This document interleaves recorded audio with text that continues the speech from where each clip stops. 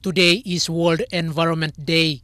The students, staff and public servants in Port Moresby celebrated it by marching from the Legal Training Institute to the Port Moresby National High School for the main celebration.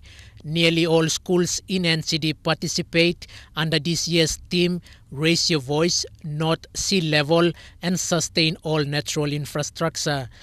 At the event, Minister Pundari said donor agencies used to give millions of dollars for climate change activities, including replanting of mangroves, but people in the affected communities have seen little of these monies put into real benefit.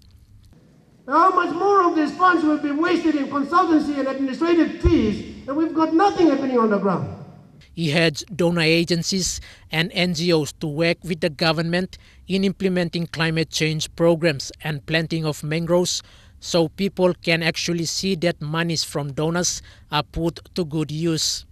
Environment and Conservation Department Secretary Gunther Joku said PNG is among the small island nations in the Pacific that is experiencing the effects of climate change caused by the actions of big industrialized nations.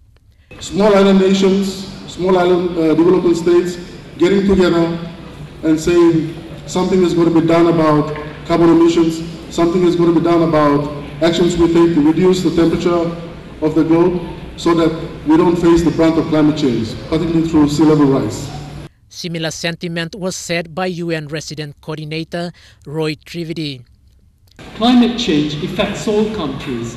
The fact that some countries or all countries are emitting greenhouse gases impacts on everybody's world. So People are told to look after the ecosystem and develop it in a more sustainable way and at the same time raise their voice to sustain all natural resources. Quinton Alomp, National EMTV News.